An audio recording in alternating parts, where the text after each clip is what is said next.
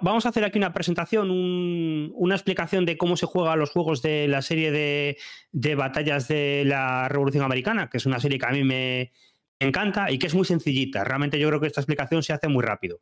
Pero, pero aquí mi amiga Joel, Yolanda, que la conoceréis de otros podcasts, como el de eh, Qué rico el mambo y... Qué rico el mambo, eso es. Y, otros. Eh, tenías, tenías un blog o algo. Sí, sí, el de análisis al culo. Eh, análisis al culo, Sí. bueno, pues... Como dice nuestro amigo Carte. Sí, pues me dijo que le, si le podía explicar más o menos los rudimentos y, y no me cuesta nada, así que, que los vamos a ver. Eh, esto que veis aquí desplegado es la batalla de Eulat Springs, que es la batalla más pequeñita que hay en, toda la serie, ¿vale? Y más o menos vamos a ir viendo qué es eh, cómo, funciona un turno y qué es lo que, es lo que cómo, cómo, se juega al sistema. Si tú vas viendo que tienes alguna duda a la hora de, jugar, pues lo, lo, vamos viendo. Entonces, mira, eh, lo que lo que tienes es lo habitual en los juegos de Ex Counter. Este es un juego de Ex Counter y es de lo más normalito. Eh, si tú ves una ficha, por ejemplo, vamos a fijarnos en el. En, estos tipos, los eh, Iris, Bulls que están aquí en, con los ingleses. ¿Los ves? Eh, no. fíjate en los americanos, solo hay unos americanos desplegados. La Lil Legends, ¿los, ¿los, ves? Los que están, los americanos que están arriba del todo. Sí. Vale. Bueno, pues si te fijas, tienen varias características. Y son características de lo más sencillas. El, es, la ficha es más 1, 1, 4. El 1 es la fuerza de la, de la ficha. 4 es el movimiento. Y el más 1 que tiene es el modificador de moral. Es decir, cuanto más alto es, más fácil tiene eh, eh, aguantar, en un combate o eh, plantar, plantar batalla, no huir. Cuanto más bajo tiene, que puede llegar a ser negativo, es una ficha peor, ¿vale? Vale. Si, te fijas en la ficha esta que está a medio del camino, el Foraging Party, esto en este juego son unos, esto, esto, es alucinante, son unos tipos que van a buscar batatas silvestres. ¿Vale? Entonces, como los ves, son muy cutres. Tienen menos uno de moral y, y uno y cuatro de movimiento entre paréntesis para marcar que ni siquiera pueden atacar. ¿Vale? Entonces, esto es lo que tiene una ficha. Tiene eh, ataque, movimiento. Y todas las fichas son exactamente iguales. No tiene ninguna complicación. Fíjate que si pinchas en la ficha, en el basal te va a desplegar todas las demás. Hay unas par de fichas de caballería. Las caballerías son exactamente iguales. Uno de, por ejemplo, la Lee Legends, que está ahí, tiene uno de fuerza y seis de movimiento. Más uno de moral. Es exactamente igual. Luego también hay fichas de artillería. Si pinchas ahí, vas a ver una ficha de artillería. La artillería es exactamente igual. Tiene eh, uno de fuerza de combate, tres de movimiento y cero de, moral. Y cero de moral. Vale. Vale. Las únicas que son un poquito diferentes son. ¿Ves que al lado de la artillería hay una ficha que tiene una R negra? Exacto, sí. Los rifles de milicia. Vale. En, este juego es todo de guerra de, de, líneas. Entonces, los, los tiros que pega la gente son no, llegan a distancia, tú no puedes disparar a distancia, porque es guerra de líneas, disparan muy mal eh, y disparan más porque disparan muchos a la vez que porque tengan puntería ni nada así. Pero la excepción a todo esto son los rifles. Los rifles sí que pueden disparar a distancia. Se supone que es gente que tiene armas mejores, que pueden disparar a distancia de verdad. Vale, pues esa gente tiene una fase aparte para disparar, aparte de, de, los combates que sueles hacer ellos pero tienen un, lado malo y es que tienen menos, tienen malos al combate. ¿Vale? Cuenta con que estos tipos tienen unos rifles como más largos y que disparan mejor, pero ¿qué pasa? Que no les pueden enganchar una bayoneta. Entonces, como no pueden tener una bayoneta, cuando hay un combate, estos tipos pelean peor. A cuerpo a cuerpo, ¿no? Sí, a cuerpo a cuerpo, que es el combate normal que tienen. Y, una cosa, estos son los que tienen la R eh, con el circulito negro, ¿no? Sí, Sí, sí, sí. Vale. Hay algunos que vas a ver que pueda, no creo que haya ninguno en este escenario, pero hay unos que tienen una R con un circulito blanco. Los que tienen una R con un circulito blanco son rifles, pero además son rifles, pero llevan cualquier tipo de arma cuerpo a cuerpo, que es unos machetes o unos tomahawks o lo que sea, y esos no, tienen el, no tienen el modificador de negativo en combate. Pero bueno, no, tampoco tienes que preocuparte de eso porque yo creo que en ese escenario no hay, no hay nada así. Vale, eh, ¿qué me queda por explicarte? Las únicas fichas, aparte de estas que hay, que son diferentes, son los líderes, ¿vale?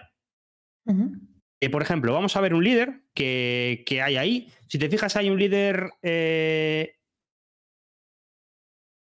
americano que, que, es Green, que está ahí en el turno 3, ¿no? ¿Lo ves?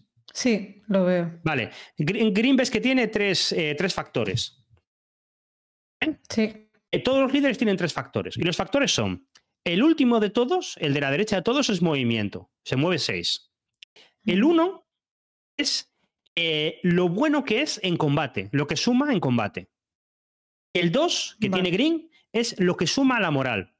Es decir, es que los líderes ayudan a la moral. Entonces, por ejemplo, si Green estuviera apilado con una ficha que tuviera, con esta ficha que está al lado suya de, de Maryland, que tiene un más 2 de moral, pues esa ficha de, Maryland tendría más 4 de moral, porque tendría 2 de por ella y 2 de Green. Vale. ¿Vale? Y de fuerza es- lo mismo, ¿no? Fuerza, la fu- es que no tienen fuerza los líderes. Los líderes lo que hacen es que te dan un más uno Sí, a las tiradas. Bueno, un más uno no, Ah, un más lo que es sea a las tiradas. modificador de combate, digamos, ¿no? Sí, suma- simplemente cuando tires el dado de 10 del, del combate, pues vas a tirar un de 10 Sí. más uno si, si el líder participa en el combate. Vale. Bien, eh, pues eh, listo. Esas son todas las fichas, no hay nada más que saber. Luego, eh, ¿qué me queda por explicarte? ¿Cómo se gana? En, este, en estos escenarios de, de, mm, de- de esta serie se gana de tres formas distintas. Hay lo que le llaman la victoria decisiva, ¿vale? Victoria Sí. decisiva es uno- uno- unos requisitos que hay en el escenario que te van a variar de partida a partida y, y que, que no tienes que preocuparte por ellos realmente, porque son requisitos tan fuertes que no los vas a conseguir hacer. Yo no los he visto casi nunca en ninguna partida. Son cosas en plan de, si te va muy bien, muy bien, muy bien y llegas hasta aquí, ganas automáticamente. Pero no suelen ocurrir. Tienes que hacerlo muy, muy, muy bien para poder hacer eso. Eso es una victoria decisiva. Después hay una victoria sustancial. Es, tú te fijas en la parte de arriba del todo, de- del módulo de Basal, hay dos tracks que son la moral. ¿vale? Son Sí. moral alta, moral fatigada y moral wavering, ¿vale? Vale, pues si el marcador de moral llega a cero, ganas una victoria sustancial. Vale. Luego hay una última forma de ganar, que es la habitual en el juego, que es la victoria, eh, la victoria marginal. La victoria marginal es, es si se acaba las- el escenario y nadie ha ganado porque no se ha bajado la moral ni se han conseguido los objetivos, pues se van sumando los puntos según las unidades eliminadas y el que tenga más puntos gana y ya está. Sí, eso he visto que se pueden conseguir puntos por varias cosas, ¿no? Se pueden conseguir puntos por eliminar unidades, por ciertas cosas de cada escenario, eh, por matar líderes, te dan puntos también. Es, eh, vamos, es, es así, no, no, no tiene Vale, mucha más vale. complicación. Vale, eh, pues eso, así, eso es para la victoria, no hay ningún problema. ¿Qué más, qué más te tengo que explicar? Iniciativa. Cada turno en este juego, en estos juegos, la iniciativa es variable y es súper sencillo. Se tira un dado de 10 y el que saca más es el que tiene la iniciativa ese turno. Vale. Eso puede hacer que una persona pueda hacer el último turno y el primero del siguiente. Nunca tengas muy claro quién, quién va a ganar la iniciativa. Cada escenario va a tener sus normas especiales, además. Si te fijas en, eh, en este turno, en este escenario, en Neutral Stream, te pone el turno 1 Sí. está como sombreado azul y el turno 2 también. Eso quiere decir que el, el- tanto el turno 1 como el turno 2 va a ganar el americano la, la iniciativa y de hecho va a actuar solo él. Y el turno 3 te dice que es condicional. El turno 3 condi- eh, tiene una condición para ver quién gana la iniciativa. Y a partir del turno 4 se tira un dado y el que saque más es el que tire la iniciativa cada turno. Entonces, eso es para marcar la iniciativa. Si te fijas en el track de moral, ves que, por ejemplo, el de arriba de todo pone high moral, iniciativa más uno y la moral de las unidades normal. Cuando pone fatigado, pone iniciativa cero, unidad de, las- de la- de moral de las unidades menos uno. El track de moral del ejército afecta a la iniciativa. ¿En qué sentido? En el sentido de que tú tiras un dado de 10 y si tú tienes la moral alta y el otro tiene la moral fatigada, tú vas a tener un más uno a las tiradas de moral, porque se supone que estás como ya renqueando. ¿Vale? Y de hecho, si tienes iniciativa moral Wavering, que es el último, el último rango, Sí. te quedas en iniciativa menos uno. Con lo cual, si uno estuviera en high moral y el otro en Wavering, tendría un más dos a las tiradas de iniciativa. Vale. Y lo otro que dice de Unit Morale es para todas las unidades. ¿Qué quiere decir eso? Que si tú estás en, en, en Fatigued, por ejemplo, todas tus unidades tienen menos uno a la moral. Eso quiere decir que, pues eso, la, la unidad que tiene uno de moral más uno a la moral se quedaría en cero de moral. En cero. Vale, Sí. vale, vale. O sea, es un modificador modifica la general. moral de, de- de las unidades. Y la, le modifica la moral de todas las unidades de tu ejército. Vale. Entonces, bueno, pues ya sabes cómo van las fichas, ves cómo va la iniciativa. Eh, lo siguiente que tengo que explicar es el stacking. ¿Cuántas fichas pueden apilar en, en un sitio? Y es súper fácil. En un sitio te caben seis puntos de fuerza. Pues, por ejemplo, si te fijas aquí la, en, el, en el camino, están unos caballos, unos tipos del palmetto, otros caballos y la Lil Legends. Pero sumando los, los factores de fuerza tienen 1 más 2, 3, 4, 5 puntos. O sea, pueden apilar todos perfectamente. Vale. O sea, Eh, que se cuenta por eh, punto de fuerza, no punto de por fuerza. ficha, digamos. No por- No por número de fichas. De hecho, si te fijas, hay, por ejemplo, hay algún británico aquí. Si te vas a ver el campamento británico, hay un británico aquí que tiene cuatro puntos de fuerza. Pues esos británicos solo podrían apilar con, con una ficha de dos. Y esta ficha de tres que está Vale. abajo, el 64 de, de infantería, no podría apilar porque No serían siete ya. puntos. Vale. Eh, vale, son seis puntos y una, y una artillería. Te cabe una artillería también. La artillería no, no cuenta para apilamiento, pero solo No puede haber una. cuenta. No cuenta, pero, pero Vale. solo puede haber. Y ahora viene la, la gracia del juego. El límite de apilamiento se aplica en todo momento, incluido durante el movimiento. Esto quiere decir que se van a hacer atascos. Si tú vas moviendo a la gente y quieres que un tipo, si van por la carretera, hay un tipo que corre más, no puede pasar si hay ya seis puntos. Porque en todo momento las unidades eh, eh, se cuenta el límite de apilamiento en todos los momentos. Porque hay juegos en los que solo se cuenta el apilamiento pues cuando vas a atacar o, O sea, que- o el- después del movimiento. Pero aquí durante el movimiento también. ¿Mm? Se van obsta- obstaculiz- obstaculizando, ¿no? Durante el movimiento. Mm, Sí, sí, vale. sí, sí, sí. Todos estos tipos que tienes apilados los puedes, los puedes ir moviendo solos. Pero si te fijas en los de arriba, los del turno de, de track, estos tipos no te caben todos ahí. Tienes que ir haciendo cadena con Ujú. ellos. Porque el límite de apilamiento, eso, es Vale. en todo momento, en todo momento. Pues eso es el vale. apilamiento. Eh, luego, todas las fichas hacen, como es habitual en estos juegos, zona de control. Alrededor de donde están, hacen zona de control, en los seis hexágonos eh, adyacentes. ¿Qué quiere decir eso? Eso quiere decir que si una ficha entra en la zona de control, se para. ¿Vale? Vale. Y si empieza el turno en una zona de control quiere moverse a otra zona de control del. Por ejemplo, imagínate que esta ficha, la Foragging Party, estuviera aquí, donde la Lee Legends, ¿vale? Y empieza su turno Sí. en Zoc y quiere moverse aquí. Pues podría hacerlo, pero eso le gasta todo el movimiento. Parte de Zoc a Zoc te gasta todo el movimiento, ¿vale? Vale. Eh, y luego hay una norma más que es que dice que los, los que tienen rifles te cuesta un punto de movimiento más entrar en su ZOC, porque se supone que ya te están disparando desde lejos y te cuesta más entrar donde están. Pero bueno, esa regla la vamos viendo a medida que salga. Lo importante es eso, que el ZOC la haces en los hexágonos de alrededor y que, mm, y que si te entras en ZOC te paras y que si te mueves de ZOC a ZOC también te paras. ¿Vale? ¿Y el ZOC es en todo el mapa? Es decir, en, en- en todos los tipos de terreno o hay terrenos No. que. Mm, Es que esta es una gracia, esto es una cosa muy graciosa del juego. El bosque cancela el ZOC Sí. por completo. Eh. Entonces es muy divertido porque en esta batalla no, pero por ejemplo, la batalla de Saratoga es una batalla que es toda en bosque. Entonces, es todo eh, sí. claro, He visto el mapa. entonces, si has visto el mapa, es todo bosque. Entonces, el inglés tiene una fuerza mucho mejor que el, que el americano y podría destruirlo si pudieran ir en línea en, en una llanura. Pero como están en un bosque y no hacen zoc, el americano se le escapa, se le mete por sitios, le rodea y es lo que hace un poco la gracia. En bosque tú no, no, no haces zoc. Entonces, una unidad, por ejemplo, eso, pues imagínate, vamos a, voy a separar esto. Si esta unidad está aquí, la Foragging Party quisiera pasar por aquí, aquí no está en zoc, así que podría seguir moviéndose aquí sin ningún problema. Vale. Entonces, ahí no haces stock. Eh, listo. Eh, ya está. Luego, movimiento. Movimiento es súper fácil. Es consultas la tabla de, de- de movimiento que hay. que Va a variar según el juego. La tienes aquí. Y aquí te dice lo que te cuestan puntos de movimiento cada hexágono. ¿vale? Si te fijas, el, el movimiento es el coste de movimiento es diferente para, para caballería, que para infantería, que para artillería, que para líderes, ¿vale? Y el coste que tienes es para, para hexágonos y abajo te pone excites, porque si vas por un excites, o sea, por un, por un camino que te facilita, lo tienes más fácil. Por ejemplo, por una carretera, ignorarías los bosques, ignorarías estas cosas.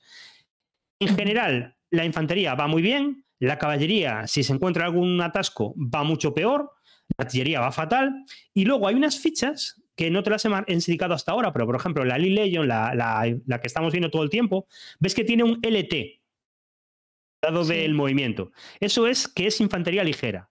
Esos tipos tienen un, una capacidad de movimiento en bosques mejor que de la infantería normal. Suelen ser hostigadores y, eh, tropas irregulares, cosas así. Lo digo porque tú vas a ver la tabla y te fijas es milicia, infantería de milicia y eh, LT Infantry, infantería ligera. Luego dragón, artillería y líder. Debería haber una para, para infantería. no la hay aquí, no sé por qué. Pero debería haber una para infantería. Normalmente la infantería ligera lo tiene más, más fácil.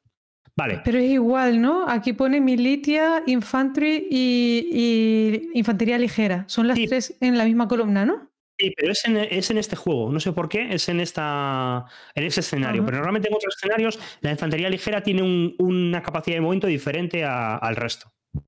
Vale. Bueno, no sé, es una cosa que, ocurre así. Entonces, eh, movimiento, eh, te, mueves lo que diga, la, lo que diga tu, ficha en puntos de movimiento, vas viendo la tabla y luego lo que sí es importante es que tienes que respetar el límite de, apilamiento en, todo momento.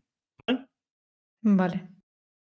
Vale. Eh, luego, otra cosa importante es que hay un movimiento que es el movimiento estratégico, que es el movimiento que haces por carreteras y, caminos. Eh, cuando haces movimiento estratégico y no entras en zoque enemigo y empiezas en zoque enemigo, puedes moverte el doble de tu capacidad de movimiento. ¿Vale? Entonces, estas fichas, por ejemplo, si fuera por la carretera, se podría mover ocho, espacios. O, doce la caballería. Esto solo ocurre si no estás en ZOC, no entras en ZOC y eh, vas todo por carretera, ¿vale?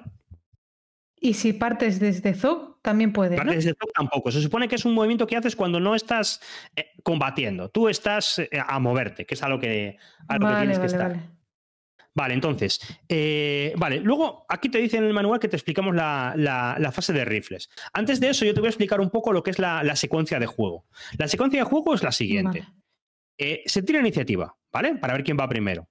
Luego hace primero una acción, primero las acciones un bando y luego unas acciones el otro bando. Ese es un juego de los básicos, de los que tiene va uno y luego va al otro. Entonces, básicamente, se tira iniciativa y después una, una fase lo que va a hacer es hacer movimiento. Después del movimiento viene la fase de rally, que es la fase para recuperar moral. Luego te la explico. Pero es básicamente las unidades que estén desmoralizadas tienen una oportunidad de recuperar la moral. Después de la, de la, fase de moral, de rally, viene la fase de artillería defensiva. ¿Por qué artillería defensiva? Esta es la fase en la que dispara la artillería. Pero en este juego ocurre una cosa, la artillería no va a disparar en, el en tu turno, va a disparar siempre en el turno de tu oponente. Es defensiva, es decir, eh, tu artillería va a disparar en el turno del oponente y la del oponente va a disparar en tu turno, ¿vale? Vale. En este momento. Después vendría la fase de rifles, que, los que las unidades que tengan rifle dispararían. ¿Vale? Después vendría la fase de combate. Ya está. Acabó y va el otro, el otro jugador. Vale. Tiene nada más. O sea, no, no hay tantas fases ni, tanta, ni tantas historias. Entonces, eh, te voy a explicar. Eh, rifle y movimiento, movimiento, recuperar moral con rally, artillería defensiva, rifles y combate. Vale. Ya está. Y luego va el siguiente jugador. Luego, lo único que pasa es que el combate tiene sus fases y, la artillería y el disparo tiene sus fases. Te voy a explicar ahora cómo funciona mm, el disparo. El disparo de artillería y el disparo de rifles, porque básicamente son lo mismo. E, el tema es que tú para disparar tienes que tener línea de visión y disparas. ¿vale? No tienes ninguna complicación. Los rifles solo disparan a uno de distancia, ¿de acuerdo? Déjame que mire, aquí está. Esta es la tabla de. Si te fijas en, charts, que tú, no estás viendo mi pantalla de base, ¿no? Mm, no. Pero vas a, charts y ves rifle artillery fire to hit. Exacto, sí. Y ahí lo ves. Ahí ves eh, ranking fire to hit, pues lo que ves es el número de puntos que están disparando y eh, los puntos de fuerza, ¿no? Y, el puntos de fuerza. Exacto, sí. en rango. Vale. Eh, ¿Qué pasa? Esta que, estamos viendo es la de artillería. Luego hay otra que es la Rifle Artillery Fire Damage. Ah, vale, sí, es la de la tal. Vale, Rifle Artillery to Hit. Esto es para impactar. Entonces es muy sencillo. La unidad tiene que tener línea de visión, sumas los puntos que están disparando, ves la distancia. adyacente es un 7, a 2, 3 hexágonos es un 9 y a 4 más hexágonos, nada. Si tienes 10 puntos de fuerza, adyacente es un 1, a 2, 3 hexágonos un 5 y a 4 más hexágonos, no, a 4 hexágonos que nunca más, 6 puntos. Tienes que sacar un 6 Vale. y le haces la tirada con un dado de 10. El, el dado del juego. Ah, una cosa que no te conté. En el, da- en el juego, el dado es un dado de 10, pero el 10 es un 0. Es un No, no es un 10. Vale. Eh, ¿Cómo disparas? Eh, nunca puedes disparar dos veces a, a una unidad. Tienes que sumar puntos. Si hay una unidad de uno que dispara una a una unidad y otra unidad de uno que dispara a una unidad, eh, no, no puedes hacer dos tiradas en la, en la tabla. Lo que haría sería que dispararas como si estuvieran disparando eh, dos puntos de fuerza, ¿vale? Todos a la vez, ¿no? Dos a la vez. Solo se puede disparar una vez por turno a cada unidad. O a cada apilamiento, porque disparas a, a hexágonos. O disparas a unidades, sí, verdad, disparas a unidades. Vale, eh, entonces tiras un dado de 10, ves si has alcanzado con. si sacas igual o más, y, y- y entonces impactas. Y, y ya está. No, no tiene ninguna complicación. ¿Qué complicaciones Vale, hay? entonces, por ejemplo, una cosa, eh, punto de fuerza, uno, imagínate, y está adyacente son 7, pero el 7 este, ¿qué es? ¿Lo que tienes que tirar para, para hacer siete, hit? o- siete o más para hacer un hit. Vale, un hit, vale, vale, vale. Pa- Para hacer un impacto. Luego te explico lo que, hace- lo que es el impacto. Si te fijas abajo, hay unos modificadores que son modificadores a la tirada. Pues, por ejemplo, si el objetivo es artillería o un, o un dragón o una caballería, tienes más uno a la tirada de dado. Si el objetivo es infantería ligera, tienes un menos uno a la tirada de, dado. ¿Vale? Vale. Y está cruzando un río, que es lo último que pone abajo, Santi River, eh, mientras el zorro del pantano intenta cruzar, más uno a la tirada. Vale, es- entonces es, tiras un dado y, y lo que saques. ¿Qué diferencias hay? Porque hay, hay dos fases de rifle, hay dos fases de disparo, la de artillería y la de rifle. Bueno, pues por dos cosas. La artillería es defensiva. Entonces, la artillería va a disparar la del oponente en tu turno. ¿Vale? Sí.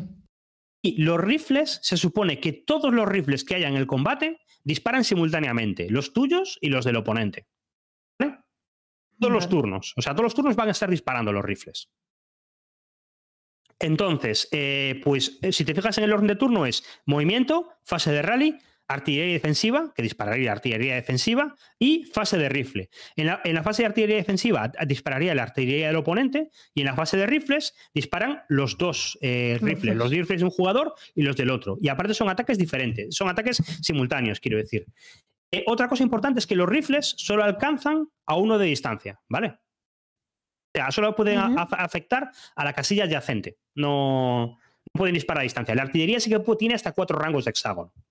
Vale, y línea de visión. ¿Qué te bloquea línea de visión? Te bloquea línea de visión los bosques, bloquea línea de visión las unidades amigas o enemigas. Aquí no hay tiro parabólico. Aquí la artillería es muy, muy cutre. Entonces, las- Ujú. la- tus, tus- tus otras fichas te bloquean. Te bloquea la línea de visión también el eh, una elevación de terreno, si la hubiera, que en este, en este escenario no hay. Eh, ¿Qué pasa? Hay unas normas también un poco más complicadas cuando una unidad está en la parte de arriba de un terreno y otra está en la parte de abajo de un terreno. Pero esas no las vamos a ver porque en ese escenario ni se ven y realmente yo creo que mejor que lo explique yo, lo ves en el diagrama que te viene en el, en el juego y, y ahí lo ves perfectamente. Y cada vez que dispares miras el diagrama y listo. Vale, entonces, fíjate, ahora cambiamos de tabla y fíjate en Rifle Artillery Fire Damage, el daño. Si has pasado la primera tirada, tiras en esta tabla. Es decir, si has acertado contra una unidad, tiras en esta tabla. Y entonces, según la tirada que saques, mira si estás disparando. Fíjate, hay una, hay una tabla para rifle y una tabla para artillería. Espera, perdona. ¿Cómo que si has acertado en la primera tirada? ¿En cuál? Tú disparas, tú en la fase de artillería o en la fase de rifle disparas para impactar. Y te acuerdas que, por ejemplo, era un punto contra Ah, en la que anterior. sí, siete o más. Pero Eso la, significa la que has anterior era defensiva, ¿no? No, a ver, a ver, hay, hay dos cosas diferentes. La artillería y los rifles. Sí. La artillería le llaman Sí. artillería defensiva porque siempre atacas en el turno del rival, ¿vale? Y los Sí. rifles son adyacentes. Entonces, ahora lo que te estoy diciendo es que siempre que impactes, ya sea con rifles o sea con artillería, lo que haces aquí, aquí yo te he dicho lo que necesitas para impactar, pero no te he dicho cuánto daño haces. Lo que vamos a ver ahora es la tabla en la que ves el daño que haces a la unidad, ¿vale? A rifle Vale, vale. Aquí ves que hay dos tablas, una para rifle fire y una para artillery fire. Y hay dos tablas también, una para contra no artillería y contra artillería. Entonces, Sí. si has impactado, tiras otro dado y ese es el resultado que le vas a hacer al, al oponente. Entonces, fíjate, por ejemplo, si sacas de 0 a 3 contra una eh, con un rifle, con una no artillería, harías menos 1 a M, que es menos 1 a la moral. A la moral. M es la abreviatura de Army Morale. Si sacas una R, le haces una retirada. Si haces una D, es Disrupted, que luego te explico lo que hacen eso. Si Sí. sacas un 1 asterisco, significa que le haces una baja. Vale. ¿Y el 1 a secas? El 1 asterisco es que le haces una. El 1 es que le haces una baja. Pero el 1 asterisco quiere decir que le haces una baja y que matas al líder que estuviera ahí apilado. Ah, vale. Siempre que veas un resultado asterisco es que el líder muere. Y es Vale. prácticamente la única forma que tienes para afectar a líderes. En- entonces, está, está guay. Cuando sacas una cosa de esas, está, está estupendo, porque el- normalmente cuando matas a un líder hay, unos, hay unas tablas que hacen que pierdas moral el, el oponente, eh, gana pun- ganas puntos de victoria por matar a un líder. Está, está, está, está bien que te, que te salga eso. Vale. Vale, pues esto es combate. Esto es, es combate a distancia. Y ahora ya vamos a pasar a explicarte el combate y ya casi está el juego. Entonces, combate. ¿Cómo funciona el combate? En, en el combate van a combatir todas las unidades que estén adyacentes. Vale, importante, importantísimo. El combate es obligatorio. ¿Vale? Todas las unidades que estén en, en- en contacto con el enemigo tienen que combatir. Por ejemplo, si esta unidad, vamos a poner un ejemplo aquí. Esta unidad estuviera aquí con estas dos unidades, esta unidad se vería obligada a atacar a los dos ingleses, ¿de acuerdo? Vale. Si estuviera solo un inglés, esta unidad se vería obligada a atacar al inglés y el inglés se vería obligado a atacar al, al oponente cuando, cuando, cuando sea su turno. Cuando llega tu fase de combate, tienes obligatoriamente que atacar, ¿de acuerdo? Vale, esto quiere decir que los pases anteriores de artillería defensiva y, y rifle no son obligatorios. Sí, son, bueno, puedes no disparar si quieres, pero no tiene sentido no disparar, no gastas munición ni nada así. Eh, Vale, sí, vale, lo que quiero decir es que, es que el combate es obligatorio, que tú no puedes decidir no atacar. Por ejemplo, fíjate, es que esta vale. unidad de 1 contra 6 puntos está atacando en la 1 a 6. No te conviene atacar, pero tienes que hacerlo. Vale, vale, vale. O incluso, fíjate, esta unidad sola atacaría en la 1 a 4. No te conviene atacar, pero tienes que hacerlo, estás obligado. Vale. Eso es lo que quiero decir con, con que es obligatorio. Solo hay una excepción a esta norma, y es la gente que tiene rifles no está obligada a atacar. Es la, uni- la única excepción. Vale. Y la artillería no ataca. La artillería tiene puntos de fuerza, pero no, no contribuye a un combate. ¿De acuerdo? Vale. Vale, Bien. Entonces, eso es atacar. Si estuviéramos en este caso, por ejemplo, ya voy a mover todo. Vamos a ver. En este caso.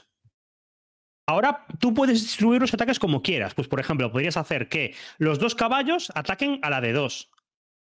Y los dos de arriba, el Palmetto Foot y la Lee Legion, atacarán a la de cuatro. ¿De acuerdo? Lo podrías distribuir como tú quieras. Vale.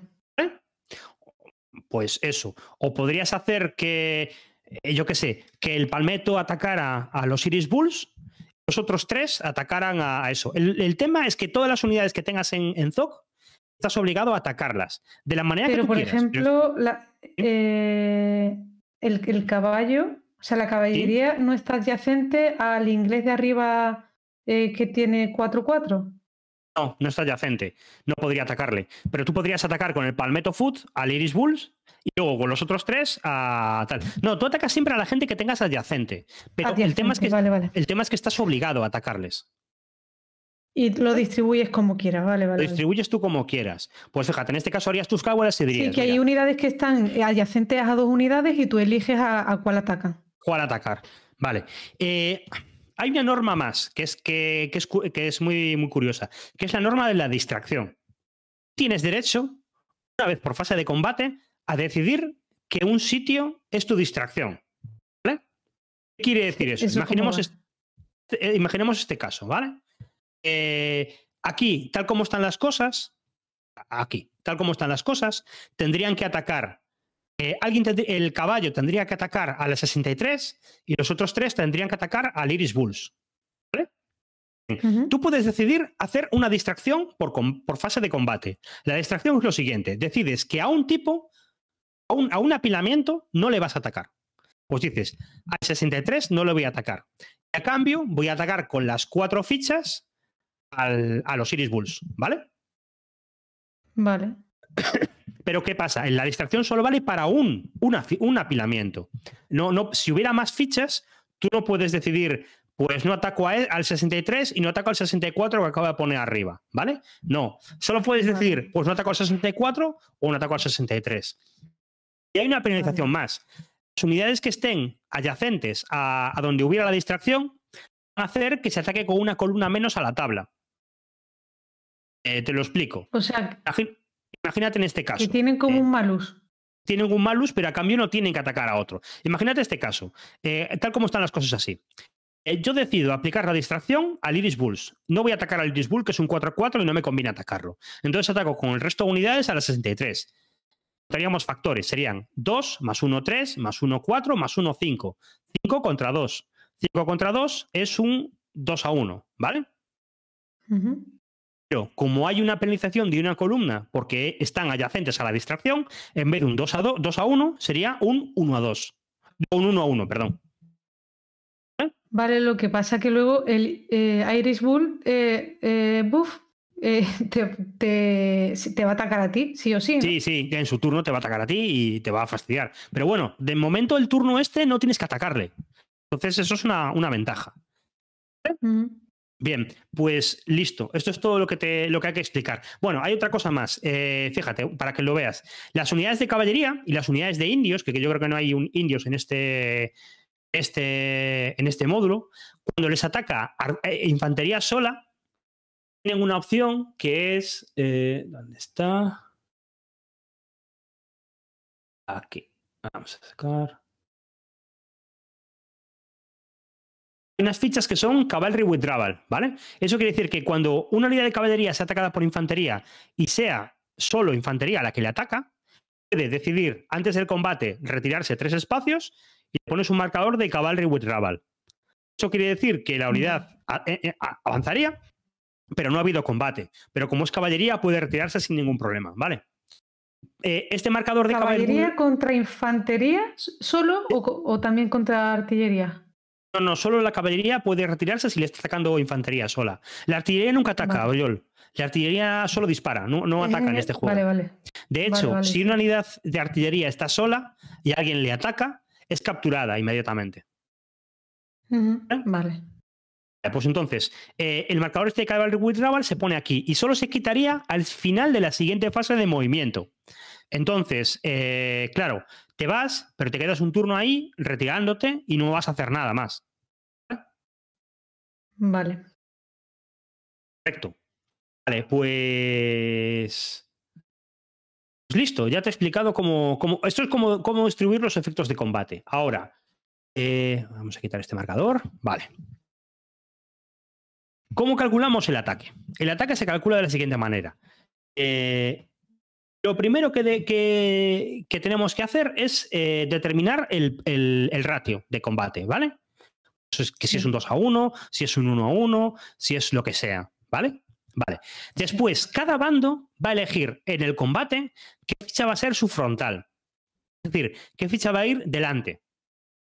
Entonces, eh, en, el americano aquí puede decidir, el inglés no, porque solo tiene dos fichas. Entonces, imagínate que las tres de arriba atacasen al 63. ¿Vale? Pues de esas tres fichas, el americano va a elegir una para que sea la que se coma las bajas, ¿de acuerdo? Vale. Pero también es la que va a dar bono al combate. ¿Qué bono al combate? Pues el modificador de moral, que es un más uno, lo sumas al combate. Es decir, te dirías un de 10 más uno. Pero como el británico tiene más uno a la moral también, pues eh, sería un de 10 más 0, porque se suma tú más 1, pero el más 1 del británico se suma, se resta. Si en cambio, en vez de atacar a eso, atacaran a la Forragging Party esta, sería el americano tiene un más 2 a la tirada, porque está atacando con más 1 de moral contra menos 1 de, moral. ¿Vale? Y muy, muy, es muy sencillito. Entonces, eh, se, ve el, se ve el porcentaje. Se ve el, la ficha que es frontal. Hay siempre que elegir una ficha frontal, que va a ser la que te dé el bono al combate, pero también va a ser la primera que se coma bajas. ¿Vale? Luego. La primera, ¿no? O sea, la primera que se coma bajas. Vale, vale. E, este sistema, Joel, ya lo verás cuando veas la tabla de combate, es muy poco cruento. Hay muy pocas unidades que vayan a, sufrir bajas. Es, muy difícil hacer bajas con, con, la tabla de combate. Lo normal es hacer bajas rodeando o haciendo historias pero, no con la tabla de combate. Eh, luego, hay una serie de modificadores al combate, pero no te los voy a explicar porque los vas viendo combate a combate. Eh, básicamente es si atacas a una unidad de rifle que, tiene, que son peores, tienes un más uno atacándolas. Si la unidad está disrupted o shattered, que son estados del juego, eh, tienes bonos para atacarles.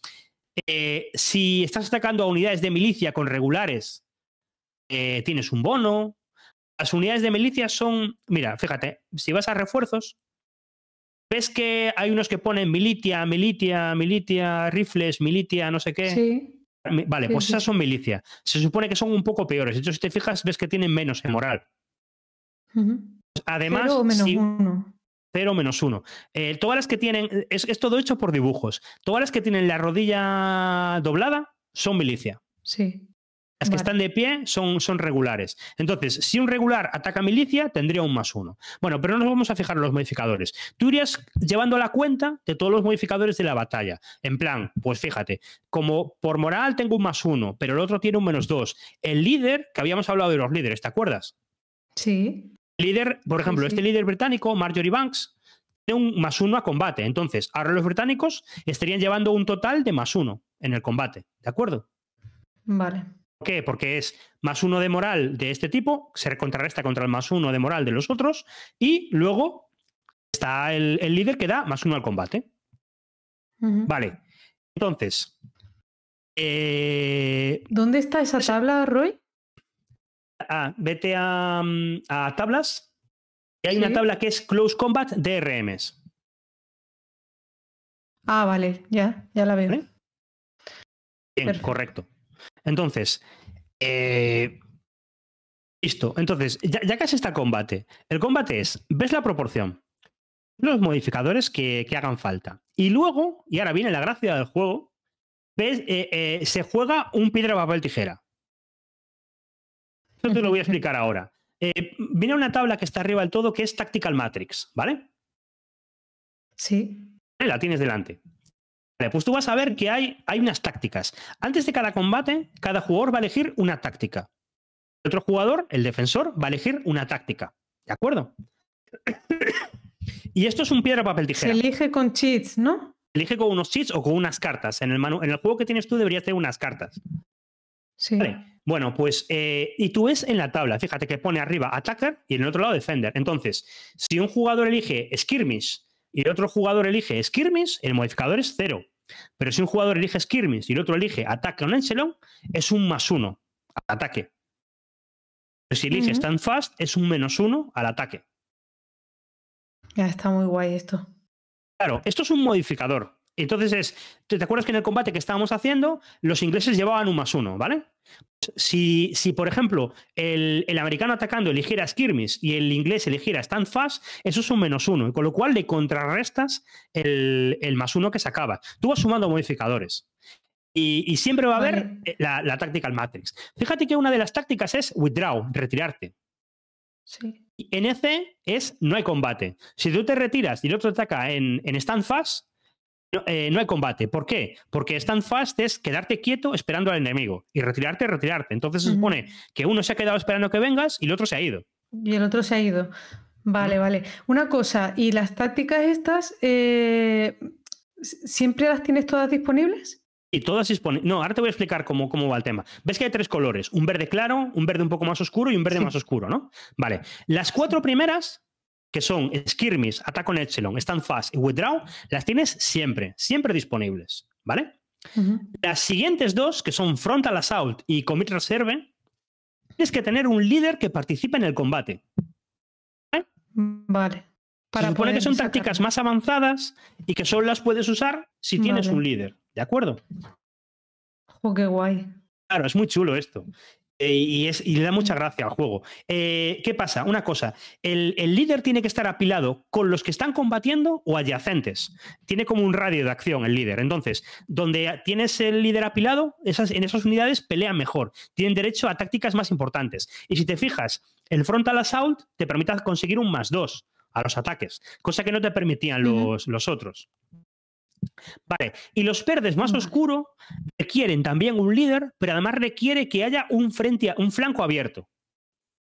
Que eso quiere decir que las unidades eh, tengan un hexágono libre, ¿vale? Pues por ejemplo, fíjate en este caso. una vía de escape, ¿no? No, no exactamente. Fíjate en este caso. Imagínate que acabo de colocar las fichas en el, tablero. La Lee Legend ataca a los Iris Bulls, ¿vale? La Lee Legend Foot ataca a Marjorie Banks. Y los otros dos atacan arriba. Vale, pues en, la, parte de abajo podrían elegir, eh, bueno, no, hay no pueden porque, hay, porque no hay un líder, pero si hubiera un líder, podrían elegir cualquier táctica. Pero los dos que atacan en el medio, la Lee Legend que ataca a Marjorie Banks, si te fijas, no tienen un flanco libre, porque no tienen una ficha eh, un hexágono libre adyacente. Si esta ficha estuviera aquí, ya habría un, hexágono libre adyacente, ¿vale? Entonces podrían elegir esa táctica. Se supone que estas son tácticas de los flancos. Entonces, si tú no tienes un flanco abierto, no tienes derecho a usarlas. Vale, vale. Y, eh, entonces, esto es un juego. Normalmente el, el 70% de las, de las veces vas a usar las cuatro primeras y acabas memorizando eh, porque al final esto es un juego de si este usa esto, yo uso esto, a él no le conviene usar esto, el otro no sé qué. Y cuando tienes cuatro, es facilito saber qué es lo que va a hacer el otro. Cuando tienes seis, ya la cosa se complica. Y cuando hay ocho, ya es en plan de no sé qué voy a hacer, pero yo quiero hacer esto, y, intentas saber qué si te sale o no te sale. Es un poco Aníbal esto, ¿eh? Bueno, un poquillo. ¿Qué pasa? Al final esto, como mucho Joel, te va a dar un más dos al combate. No, no va. Nunca, nunca, te nunca te hace ganar el combate, ni te hace perder el combate. Pero lo que hace es que las batallas que ganas, las ganes más, y las batallas que pierdes, las pierdas menos, o las pierdas mucho más. Va a dar un poquito el, punch. De hecho, fíjate, eh, vete a. Mm, ¿Dónde está? Close Combat Table, la tabla de combate. Sí. Fíjate, vas a ver que la mayoría de los resultados son D, R o PIN.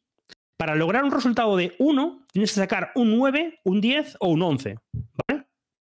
Recuerda que la tirada de combate es un dado de 10.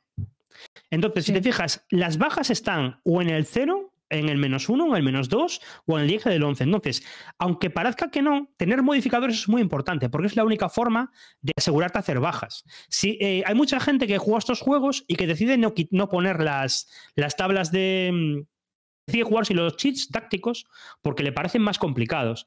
Pero, pero para mí es un error porque es que la única forma de hacer bajas es conseguir resultados muy altos. Entonces necesitas eh, esos bonos o esos malos. Claro. Em, vamos a ver la tabla de combate ahora, porque realmente ya no hay más en el combate. Eh, una vez que has sumado los modificadores, pues imagínate estás atacando en la 1 a 1 y sacas un 7. Por resultado, el resultado es guion barra R. Eso quiere decir que el atacante no consigue nada, no le pasa nada y el defensor tiene que retirarse. Retirarse. Te voy a explicar ahora los resultados un poquito que, hay en el. supongo que será que se, que se queda en el sitio o cómo. No, eh, te voy contando resultado a resultado. Eh, hay unos que son AM, que es que pierde moral, ya te lo conté.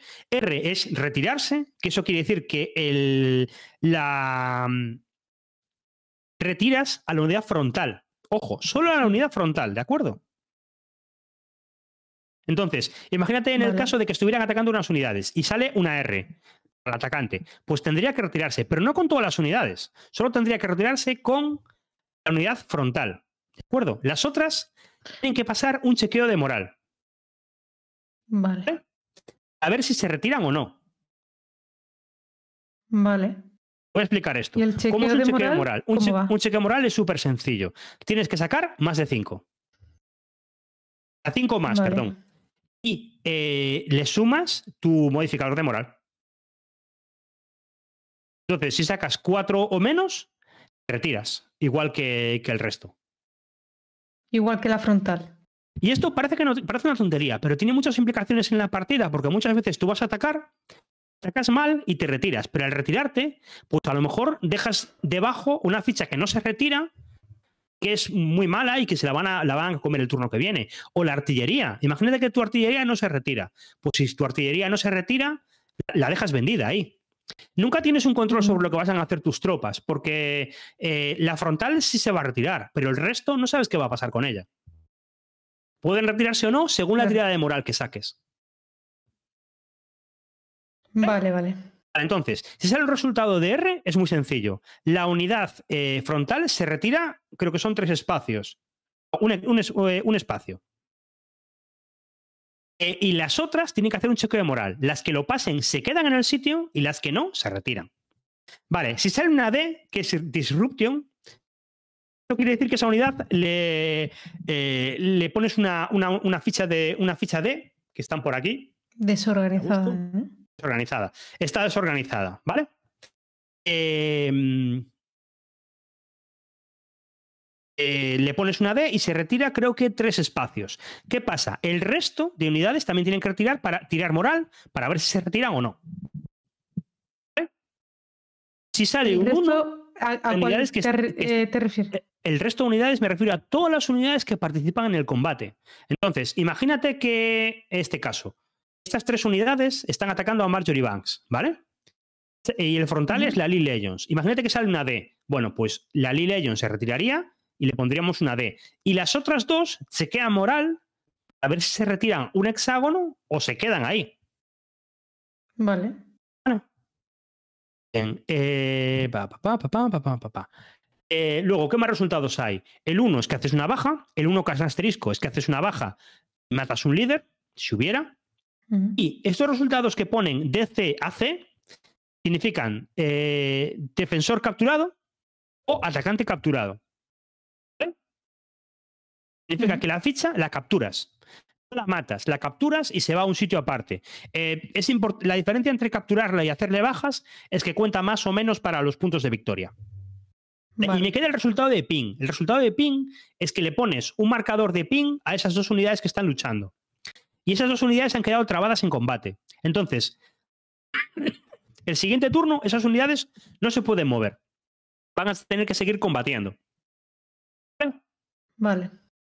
Eh, hay una excepción a ello. Eh, creo que durante tu turno te podrías escapar del combate, pero si te escapas del combate, te baja uno la moral del ejército, con lo cual está, es, fastidiado.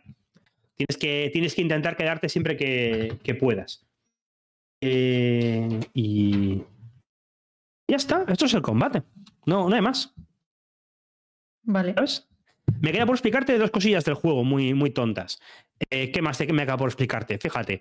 Eh, ves arriba, vete arriba a la derecha. ¿Ves que hay unas cosas que ponen momentum? Sí.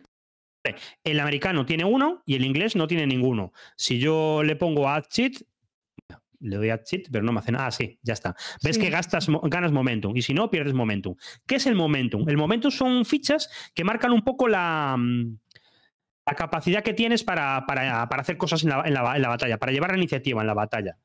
¿Cómo se gasta el momentum? Tú puedes gastar en cualquier momento una ficha de momentum para eh, repetir una tirada, tuya o del rival. Vale. Puedes gastar, eh, además, Espera que lo miro aquí. Momentum. Vale. Puedes gastar también un momentum para tener un más dos en la tirada de iniciativa, para intentar tener dos turnos seguidos. Puedes también tener, gastar tres fichas de momentum, que esto es muy difícil, yo nunca lo he visto hacer, para ganar la iniciativa directamente en un, turno. Eh, ¿Cómo se gana y se pierde el momentum? Si te fijas, vuelve otra vez a tablas y vas, ves la tabla de combate, de close combat. Sí. ¿Eh? estos resultados que tienen una, un, el menos 2 y el menos 1 y el 10 y el 11, que tienen un circulito o un cuadrado, eso quiere decir que si sale ese resultado, eh, si es un menos 1 o un menos 2, el defensor gana un momentum, y si es un circulito, ganan un momentum en vez de perderlo. Vale. Y esas fichas las vas gastando tú a medida que quieras en la, en la partida. Vale, entonces para reroll en los combates y para temas de iniciativa. Con una ficha eh, vuelves a hacer una tirada. Con una ficha tienes un más dos en tu tirada de iniciativa. Y con una ficha, eh, con tres fichas, perdón, ganas el turno directamente. ¿Vale? Bien. Eh, ¿Qué me queda por explicarte? Ah, ¿qué, Disrupted. ¿Qué, ¿Qué, haces con el Disrupted? Cuando una ficha queda Disrupted, ¿qué le pasa? Vale. Em, cuando una ficha queda disrupted, se retira tres hexágonos Y, y- y luego el turno que viene se puede mover solo un hexágono. No se puede mover adyacente a un enemigo. ¿De acuerdo? No Mm. puede atacar, puede disparar, ni puede hacer nada. Y hay muchas opciones, muchas cosas en el juego que te dicen que una unidad tiene que estar parade. Parade es que no esté ni disrupted ni shattered, ¿vale? que son los dos estados que hay. Eh, si estuvieras disrupted y te hacen otro disrupted, pondrían un marcador de shattered, que es todavía peor. Ya no te puedes ni mover y básicamente estás ahí esperando a que te que te a, a que te maten Terminen contigo, ¿no? que terminen contigo. Y, y ya está, esos son los dos resultados que hay. O sea, lo, lo vamos viendo a medida que salgan, pero básicamente con Disrupted estás peor. Te defines a la mitad, no tienes stock, que es importante, eh, y, y solo se puede mover un hexágono y, y no pueden combatir, ni ponerse adyacente al, al enemigo. Y con Shattered es lo mismo, pero peor, todavía peor incluso. ¿Vale? Vale. Ya está esto. Y- Ah, la retirada. Una cosa importante de la. Perdón, una cosa importante de la retirada. Cuando te retiras, te retiras un hexágono. Tienes que retirarte hacia un, hacia un margen eh, amistoso del mapa. Depende de cada escenario, pero en este escenario, para el americano es el- la izquierda y para el inglés es la derecha. Muy importante a la hora de retirarte. Tienes que retirarte a un sitio que no haya ZOC. ¿De acuerdo? Vale. Entonces, que no haya ZOC quiere decir que el, el oponente no, esté, no te tenga ZOC ahí. Sí, si hay ZOC, quedas eliminado, te quedas capturado al instante. Y una cosa muy, muy, muy, muy importante. Aunque haya una Eliminado ficha. capturado. Capturado, Roy? capturado, capturado. Vale. Y una cosa muy, muy importante. eh, el- las fichas amigas no impiden ese ZOC. Es decir, te explico. Imagínate en, en este caso. Ves, fíjate en, la, en el camino. La infantería ligera ataca a la. a la Palmetto Foot, ¿vale? ¿Vale? Palmetto Foot le, sale un resultado de retirada. El único sitio al que se puede retirar es aquí, donde está el caballo, ¿de acuerdo? Sí. E incluso ahí sería eliminado. Porque está en ZOC Pero de la hace ZOC, 64. ¿no? Sí, le hace. ZOC. Y el ZOC no, no cuenta, incluso aunque tenga una ficha amiga, que es el caballo, no vale para nada. El- el- esto es muy. no lo muy- anula. no anula, es muy rígido. Se queda ahí directamente marcado. Vale. Eh, ¿Qué me queda por explicar? Pero no iría eliminado, iría capturado, ¿no? Capturado, capturado. Sí, sí, sí, sí, sí, sí. Eliminado solo cuando sale el resultado eliminado en la, en la tabla. Vale, Claro. eh, ¿qué me queda por explicarte? Lo único que me queda por explicarte es lo de la fase de rally. La fase de rally es para quitarte los marcadores de Disrupted y Shattered que puedas tener tus unidades. ¿De acuerdo? Sí. Entonces, la fase de. Fíjate, recordemos cómo era el turno. El turno es: te mueves en la fase de rally, actividad defensiva, rifles y combate. Vale, pues en la fase de rally lo que haces es, por cada unidad que esté disrupted, shattered, haces un chequeo de moral. Si te acuerdas, era un de 10 más un modificador de moral. Si sacas más de 5 más, se recupera. Si está disrupted, se quedaría normal. Y si está shattered, se quedaría disrupted se pierde o se gana moral en, en la, en, en la moral del ejército que habíamos visto arriba. Ah, sí, es verdad. Sí. Si ves a tablas, Army Morale VP. Eh, ves una, hay una tabla que es Army Morale y Sí. puntos de victoria. Pues aquí te dice cuándo pierdes y cuándo ganas moral. Si cuando haces un rally, es decir, cuando una unidad disrupted deja de estar disrupted, ganas uno de moral. Cuando sufres un D, pierdes uno de moral. Cuando sufres AM, pierdes uno de moral. Si te hacen un 1, Ujú. gana uno de moral el oponente y pierdes tu uno. Vale, ahí ves las formas en las que te va subiendo y te va bajando la moral. Tienes que tener cuidado porque cuanto más va bajando esto, más va bajando la, la moral de- de- de- del ejército. Si vas sufriendo muchos resultados adversos, pues al final eso te va, te va a pasar factura. Sobre todo para la iniciativa, ¿no? Y bueno, y también para. Sí, y para la moral de las unidades. Eh, también. Cuando, cuando estás en Wavering cada vez estás más fastidiado y vas más, juegas más defensivo. Es un poco... ah. Entonces, ya, ya. ya está, ya sabes jugar. O sea, que esas son las, las reglas generales que sirven para los tres mm, juegos, Para ¿no? Todos, la- para todos los juegos de la serie. Luego lo que tienes es que cada juego tiene sus reglas específicas que te dicen cómo ganar y qué normas tienen unidades especiales como el zorro del pantano o cosas así. Vale, Jugar es esto, no, no es más. ¿Cuál es la gracia del sistema para mí? La gracia del sistema es que no tienes control total sobre, sobre todo. Porque aunque parezca que sí, tú vas a atacar, pero de repente uno se te retira, eh, el otro pasa el chequeo de moral. Entonces al final se forma ahí una melee muy rara. Y no hay, no hay zoc en los bosques y se te puede correr por ahí la gente. Está, está, muy simpático. Pues, pues mira, vamos a. ¿Qué te iba a decir? ¿Alguna cosilla estratégica que veas tú que mm, haya que señalar por aquí? No, eh, a ver, eso. Lo que tienes que ir haciendo es intentar. Siempre tienes que intentar flanquear al, al, enemigo, porque al final estos juegos es lo que tienen. Lo que haces es intentar flanquearle, porque al final tú muchas bajas no haces en el juego. Las bajas que haces las haces flanqueando, realmente escenarios en los que no, no, hay, no, hay, no hay mucha forma de hacer bajas.